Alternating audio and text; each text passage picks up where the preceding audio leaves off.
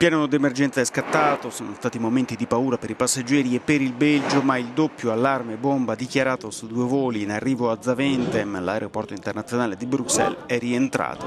I due velivoli sono regolarmente atterrati e non c'è stata alcuna conseguenza per i passeggeri.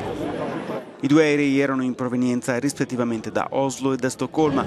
L'allerta per una minaccia non meglio precisata ha obbligato un terzo volo atteso a Bruxelles a deviare su Tolosa. Una serie di misure di sicurezza sono scattate dopo l'allarme lanciato dai piloti una ventina di minuti prima dell'atterraggio, misure che sono state poi sospese attorno alle 8 di sera.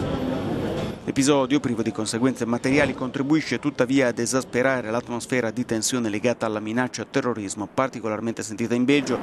Il paese è in stato d'allerta dal 22 marzo scorso, quando un doppio attentato rivendicato dall'ISIS ha fatto 32 morti all'aeroporto di Zaventem e alla stazione della metro di Malbec.